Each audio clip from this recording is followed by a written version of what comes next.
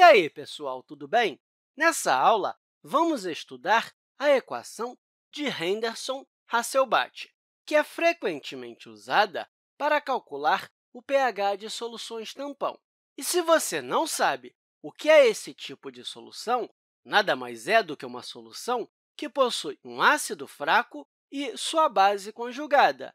Então, se tivermos um ácido fraco genérico aqui, que podemos chamá-lo de HA, e sua base conjugada, que eu vou chamar de A-, para calcular o pH da solução tampão, encontramos o pKa do ácido fraco e somamos com o logaritmo da concentração da base conjugada dividido pela concentração do ácido. E, sabendo disso, vamos usar essa equação aqui para calcular o pH de uma solução tampão aquosa que consiste em um ácido acético e sua base conjugada, o ânion acetato. E podemos utilizar esse diagrama para nos ajudar. E lembre-se que um diagrama de partículas não representa todas as partículas na solução, mas nos dá uma ideia do que está acontecendo, além de deixar as moléculas de água e cátions de fora para o melhor entendimento.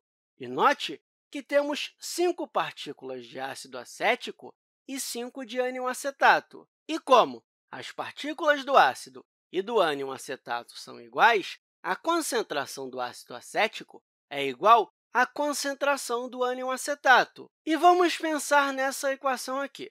Nosso objetivo é calcular o pH da solução tampão representada no diagrama. E, primeiro, precisamos conhecer o pKa do ácido fraco, que é o ácido acético. A 25 graus, o valor de Ka para o ácido acético é igual a 1,8 vezes 10 a menos 5. Esse valor é menor do que 1 porque esse ácido é um ácido fraco. E, para calcular o pKa, calculamos o logaritmo negativo de Ka, ou seja, menos o logaritmo de 1,8 vezes 10 a menos 5, que é igual a 4,74. E, substituindo na equação, temos que o pH é igual ao pKa, que acabamos de calcular, o 4,74, mais o logaritmo da base conjugada, e que, nesse caso, é o ânion de acetato. Então, eu escrevo aqui CH3COO- e dividimos pela concentração do ácido fraco, que é o ácido acético, que é CH3, COOH, e sabemos que a concentração de ácido acético é igual à concentração de ânion acetato, correto?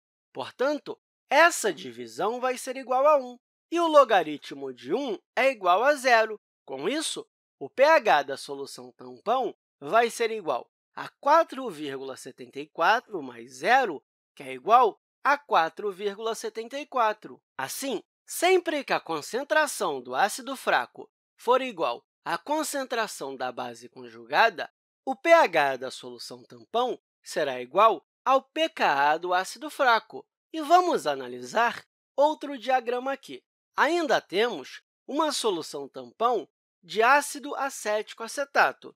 No entanto, uma solução diferente. Note que agora temos seis partículas de ácido acético e quatro do ânion. Como as partículas do ácido acético são maiores do que a do ânion acetato, então a concentração do primeiro vai ser maior do que a do segundo. E, de novo, podemos utilizar a equação de Henderson para pensar no pH da solução tampão. Nesse caso, vamos ter que o pH vai ser igual ao pK, que é 4,74, mais o logaritmo da concentração de acetato dividido pela concentração do ácido acético. E note que a concentração do ácido é maior. Com isso, temos uma concentração menor dividida por uma concentração maior, o que vai nos dar um valor menor do que 1. E o logaritmo de um número menor do que 1 é negativo. Portanto, tudo isso aqui vai ser menor do que zero, o que mostra que vamos subtrair o 4,74 por algum número. Então, o pH da solução vai ser menor do que 4,74.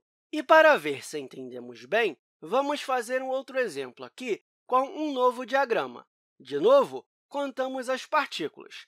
Temos quatro partículas de ácido acético e seis partículas de ânion acetato. Por causa disso, a concentração de ácido acético é menor do que a concentração de acetato, ou podemos dizer que a concentração do ânion acetato é maior do que a concentração do ácido acético. E podemos, de novo, utilizar a equação de Henderson-Hasselbalch, onde o pKa é igual a 4,74. E qual vai ser essa razão aqui? Como o numerador é maior nesse caso, então a divisão vai ser maior do que 1. E o logaritmo de um número maior do que 1 é positivo, ou seja, maior do que zero. Com isso, estamos adicionando um valor positivo ao 4,74. Então, o pH da solução tampão vai ser maior do que 4,74. Então, vamos resumir o que aprendemos. No nosso primeiro exemplo, vimos que a concentração do ácido fraco era igual à concentração da base conjugada. Isso nos deu um pH igual ao pKa desse ácido. No segundo exemplo, a concentração do ácido foi maior do que a concentração da base conjugada, o que nos deu um pH menor do que o pKa. Já no terceiro exemplo, a concentração do ácido foi menor do que a concentração da base conjugada, o que nos deu um pH maior do que o pKa. Então, a equação de Henderson-Hasselbalch é muito importante para determinar o pH de soluções tampões. E eu espero que essa aula tenha te ajudado e até a próxima, pessoal!